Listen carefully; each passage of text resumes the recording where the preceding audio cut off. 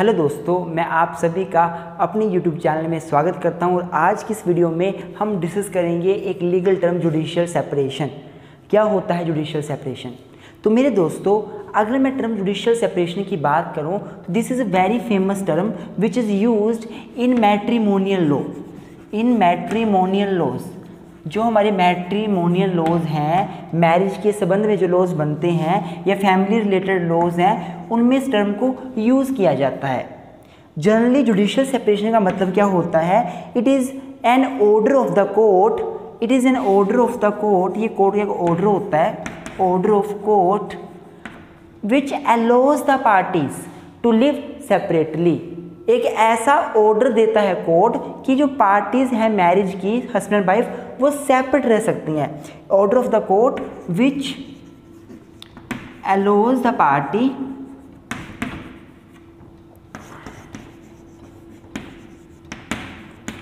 to live separately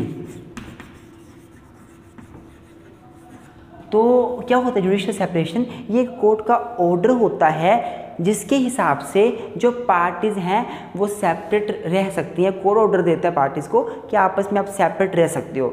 मेरे दोस्तों, अगर मैं आपको बताऊँ तो एक्चुअली जब दो पर्सन हस्बैंड वाइफ आपस में खुश नहीं है तो वो डाइवोर्स के लिए कोर्ट के पास जाते हैं कि हमें डाइवोर्स दे दो, हमें अलग कर दो, ताकि हम दूसरी शादी कर सकें और हम आपस में इकट्ठे नहीं रह सकते। लेकिन मेरे दोस्तों, हमारे कोर्ट के पास पावर है कि कोर्ट पार्टीज़ को डाइवोर्स ना दे।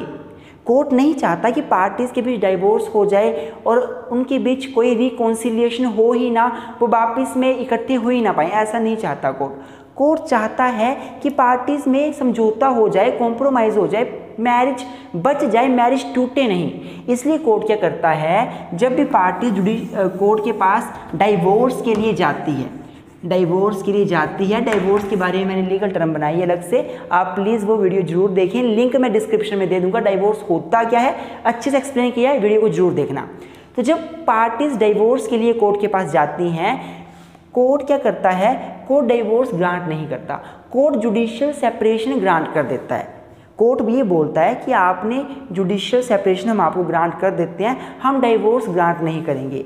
तो क्वेश्चन ये राइज होता है कि इन दोनों में फ़र्क क्या है? जुडिशियल सेपरेशन भी अलग अलग होना है डाइवोर्स भी अलग अलग होना है। तो फिर फ़र्क क्या है? क्यों कोर्ट जुडिशियल सेपरेशन ग्रांट कर देता है, पर डाइवोर्स ग्रांट नहीं करता।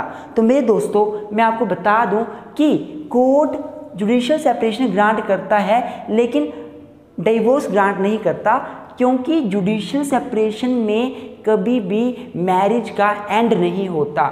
Judicial separation does not put the marriage into end इससे मैरिज ख़त्म नहीं होती। बस पार्टीज़ अलग रहती हैं, लेकिन पार्टीज़ का स्टेटस हस्बैंड वाइफ का ही रहता है। पार्टीज़ के ओब्लिगेशन राइट्स हस्बैंड वाइफ की तरह होते हैं, वो बिल्कुल उनकी मैरिज ख़त्म नहीं होती। बस वो अलग रह रहे हैं। अलग क्यों रहते हैं? जस्ट इसलिए कि उनको समझ आ जाए कि अलग रहकर वो इकट्ठे, वो अलग रह भी सकते हैं कि नहीं रह सकते। अगर उनको लगता है कि वो अलग नहीं रह सकते, वो इकट्ठे हो जाएँगे। अगर उनको लगता है वो अलग रह सकते हैं तो फिर एक साल के बाद डिवोर्स ले लें। डिवोर्स लेने के बाद क्या होता है? अब मैरिज खत्म हो गई। एंड ऑफ़ मैरिज हो गया। पार्टीज़ फ्री हैं, वो दूसरी शादी कर सकती हैं। जुडिशियल सेपरेशन में मैरिज का एंड नहीं होता। मैरिज सबसिस्ट रहती है, वैसे ही मैरिज रहती है। जो पार्टीज़ हैं, वो दूसरी मैरिज नहीं कर सकते। अगर पार्टीज़ को कोर्ट ने ऑर्डर दिया सेपरेट हो जाओ तो पार्टीज़ सेपरेट हो जाएँगी, पर दूसरी मैरिज नहीं कर सकती। इसलिए कोर्ट ये चाहता है कि पार्टीज़ को सेपरेट कर देते हैं। क्या पता पार्टीज़ आपस में कॉम्प्रोमाइज़ कर लें पार्टीज़ आपस में अलग नहीं हो, रह सकती, इकट्ठी हो जाएँ तो इसलिए कोर्ट जुडिशियल सेपरेशन ग्रांट करता है डाइवोर्स ग्रांट नहीं करता। मेरे दोस्तों, ये सारा नॉलेज आप अपनी लैंग्वेज में लिख सकते हो। इसके अलावा मैं बताना चाहता हूँ कि if I talk about this term judicial separation section ten section ten of Hindu marriage act 1955 it deals with deals with the term judicial separation section ten हमें हिंदू मैरिज एक्ट का जो है, वो जुडिशियल सेपरेशन के बारे में बताता है। तो आइए मैं बताता हूँ आपको सेक्शन टेन क्या बोलता है। तो मेरे दोस्तों, अगर मैं सेक्शन टेन की बात करूँ, हिंदू मैरिज एक्ट के सेक्शन टेन की बात तो सेक्शन टेन बात करता है जुडिशियल सेपरेशन की। सेक्शन टेन बोलता है कि ईदर पार्टी ईदर का मतलब है दोनों में से कोई भी पार्टी ईदर पार्टी दोनों में से कोई भी पार्टी मतलब हस्बैंड और वाइफ दोनों में से कोई भी पार्टी जो है इधर पार्टी, वो क्या कर सकते हैं? वो कोर्ट में जाकर जुडिशियल सेपरेशन लेने के लिए पटिशन डाल सकते हैं। किन ग्राउंड्स पर पटिशन डालेंगे? Under the grounds which are given under section three thirteen sub section one and thirteen sub section two for wife only for wife only क्या बोला मेरे दोस्तों मैंने? कि सेक्शन टेन बोलता है सेक्शन टेन बोलता है कि जब दो पार्टीज़ बीच मैरिज होती है तो दोनों पार्टीज़ हस्बैंड या वाइफ दोनों में से कोई भी पार्टी जो है, वो कोर्ट में जा सकती है। और कोर्ट में जाकर डाइवोर्स के लिए बोल सकते सॉरी जुडिशियल सेपरेशन के लिए बोल सकती है कि हमें जुडिशियल सेपरेशन दे दो, हमें अलग कर दो, हम इकट्ठे नहीं रह सकते। क्यों वो ऐसा बोलेंगे? कुछ ग्राउंड्स दिए गए हैं। उन ग्राउंड्स के बेस पे वो ऐसा बोल सकते हैं, ऐसे ही नहीं बोल सकते। वो ग्राउंड्स कहाँ दिए गए हैं? Section 13 clause one and section 13 clause two में। सेक्शन 13 क्लोज वन में जो ग्राउंड्स दिए गए हैं, मेरे दोस्तों, वो हस्बैंड और वाइफ दोनों को दिए गए हैं। दोनों सेक्शन 13 क्लोज वन के अंडर जो ग्राउंड्स है, उनके अंडर जाकर डिमांड कर सकते हैं कि हमें सेपरेशन चाहिए जुडिशियल सेपरेशन चाहिए। लेकिन जो सेक्शन थर्टीन क्लोज टू है, उसमें केवल कुछ स्पेशल ग्राउंड्स वाइफ को दिए गए हैं, जिन ग्राउंड्स के आधार पर वाइफ डिमांड कर सकती है कि हमें, मुझे जुडिशियल सेपरेशन चाहिए।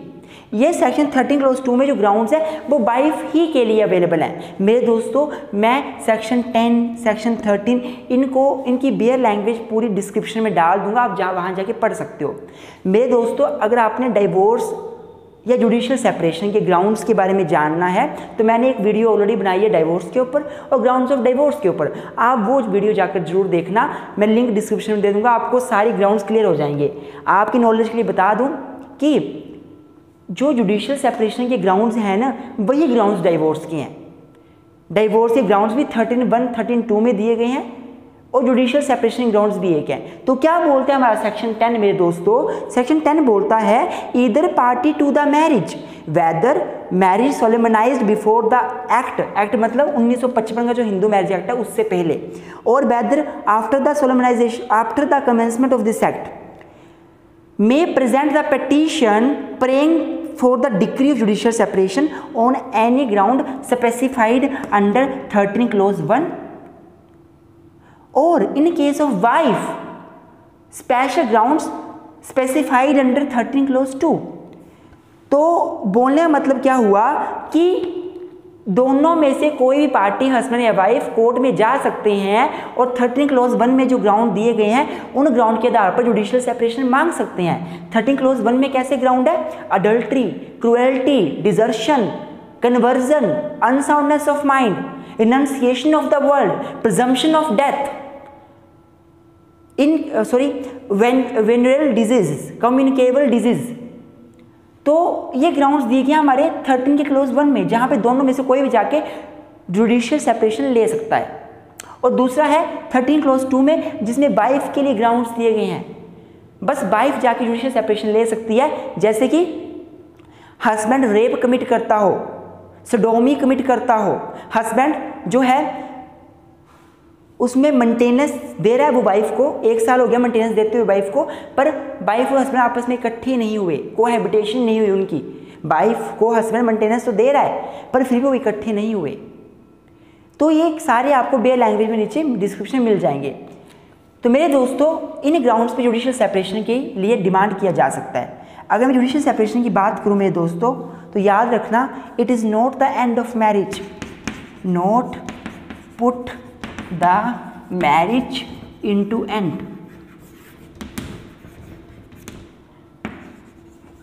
judicial separation marriage को कभी ख़त्म नहीं करता। बस पार्टीज़ की ऑब्लिगेशन सस्पेंड हो जाती हैं।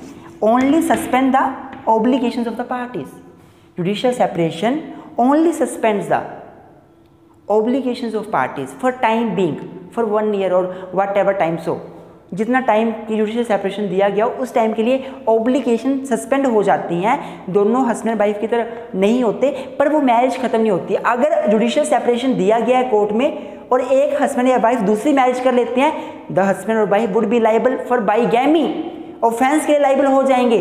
अंडर सेक्शन 494 495 आईपीसी तो मेरे दोस्तों जुडिशियल सेपरेशन से मैरिज कभी खत्म नहीं होती डाइवोर्स से मैरिज खत्म हो जाती है। इसके अलावा, अब मैं आपसे एक क्वेश्चन पूछता हूँ कि क्या जब कोर्ट के पास केस जाता है तो कोर्ट खुद अपनी मर्ज़ी से जुडिशियल सेपरेशन की डिग्री दे सकता है? या कोर्ट क्या डाइवोर्स के लिए पार्टीज़ गई तो कोर्ट क्या बोल सकता है कि जुडिशियल सेपरेशन ले लो डाइवोर्स अभी मत लो? अगर हाँ तो कहाँ लिखा हुआ है ऐसा? तो मेरे दोस्तों, मैं आपको बता दूँ कि हमारे हिंदू मैरिज एक्ट का जो सेक्शन थर्टीन क्लोज ए है थर्टीन ए ये बोलता है alternative relief in divorce proceedings अगर कोई पार्टी डाइवोर्स लेने के लिए कोर्ट के पास जाती है तो कोर्ट के पास पावर है कि वो डाइवोर्स ना ग्रांट करके वो जुडिशियल सेपरेशन ग्रांट कर दे. ये बात याद रखना कोर्ट के पास पावर है कोर्ट कर सकती है ऐसा. लेकिन तीन ग्राउंड्स ऐसे हैं। अगर उन ग्राउंड्स पे डाइवोर्स मांगा गया हो तो कोर्ट जुडिशियल सेपरेशन नहीं दे सकता। वो तीन ग्राउंड्स कौन कौन सी हैं? पहला ग्राउंड्स है कन्वर्जन अर्थात किसी एक पार्टनर ने हिंदू धर्म छोड़ के दूसरा धर्म अपना लिया, और जो हिंदू हो, वो कोर्ट में जाकर बोलता है, मुझे डाइवोर्स चाहिए। तो कोर्ट फिर जुडिशियल सेपरेशन नहीं देगा डाइवोर्स ही देगा। दूसरा है renunciation of the word renunciation of the world मतलब अब ये बोलते हैं सिविल डेथ सिविल डेथ मतलब जब बंदा सन्यासी बन जाता है, साधु बन जाता है, इस संसार की मोह माया को छोड़ देता है, वो साधु बन जाता है। तो अगर एक व्यक्ति दोनों में से पार्टनर दो पार्टनर में से कोई एक पार्टनर साधु बन जाए, सन्यासी बन जाए तो दूसरा पार्टनर कोर्ट में जाकर डाइवोर्स मांगेगा। और जब वो डाइवोर्स मांगेगा तो कोर्ट फिर जुडिशियल सेपरेशन नहीं देगा डाइवोर्स ही देना पड़ेगा। ये एक्सेप्शन लिखी हुई है सेक्शन तेरह ए में। और तीसरा जो है, वो है प्रजम्पशन ऑफ़ डेथ अगर मान लो कोई हस्बैंड वाइफ में से कोई एक पार्टनर सात साल तक सेवन ईयर्स सेवन ईयर्स तक मिलता ही नहीं है तो दूसरा पार्टनर कोर्ट में जाएगा कि मेरा हस्बैंड सात साल से गुम हो गया है या मेरी वाइफ सात साल से मिली नहीं, वो कहीं गुम हो गई है, मुझे डिवोर्स चाहिए, ताकि मैं दूसरी मैरिज कर सकूँ।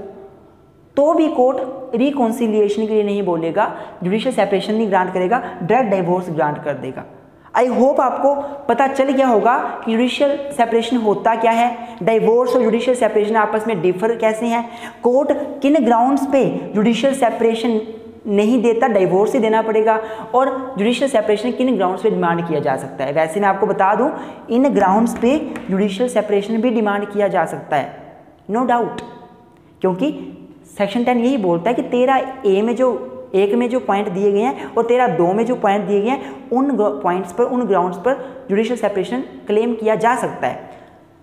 लेकिन तेरा एक और तेरा दो में दिए ग्राउंड में डाइवोर्स भी क्लेम किया जा सकता है। तो अगर डाइवोर्स क्लेम करोगे और डाइवोर्स क्लेम आप इनमें इनमें कन्वर्जन इनसेशन ऑफ़ वर्ल्ड या फिर इनमें प्रजम्पशन ऑफ़ डेथ कि केस में आप डाइवोर्स क्लेम करते हो तो डाइवोर्स ही देगा कोर्ट आपको जुडिशियल सेपरेशन नहीं देगा। अदरवाइज़ कोर्ट के पास पावर है कि वो जुडिशियल सेपरेशन के लिए बोल सकता है कि पहले आप सेपरेट हो जाओ जुडिशियल सेपरेशन आपको दे देते हैं, आप आपस में अलग रहिए, देखिए कि आप अलग रह सकते हो कि नहीं रह सकते हो। अगर इकट्ठे हो गए आप आपस में तो बहुत अच्छी बात है, इकट्ठे नहीं हुए तो डाइवोर्स तो मिल ही जाएगा। मेरे दोस्तों, मैं आशा करूँगा आपको वीडियो में अच्छा सा नॉलेज मिला होगा, सारे कंसेप्ट आपके क्लियर हो गए होंगे, फिर भी कोई डाउट हो तो कमेंट बॉक्स में आप कमेंट कर सकते हो। Thank you very much for keep supporting us